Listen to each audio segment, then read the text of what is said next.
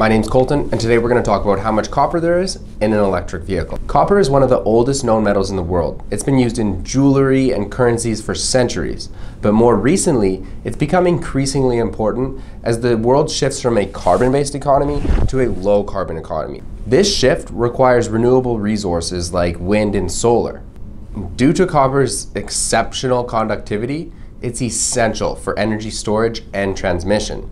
And as we've already seen with automobile makers like Tesla and GM, car companies are moving towards the electric vehicle model, which is going to require copper, and it's going to require a lot. How much exactly? Well, let's consider a standard internal combustion engine car. The average amount of copper needed to make one of those cars is about 48 pounds. A hybrid vehicle is about 88 pounds of copper.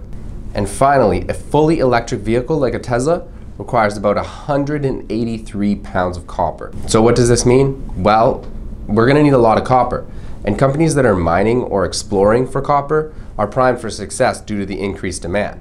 So for example, a company like Core Assets would provide investors an early opportunity to get in with a company that's poised for success. We'll provide more information about Core Assets in the description below. The ticker symbol is CC.